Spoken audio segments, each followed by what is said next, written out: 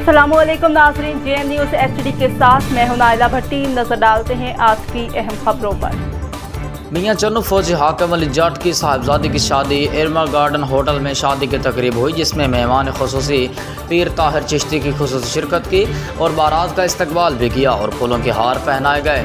इस्तकबाल में चौधरी अकबर जट, राजा आसिफ चौधरी अब्दुल गफ्फार जट, चौधरी नवीद जट, चौधरी हबीब जट, जूनस जट ने शिरकत की।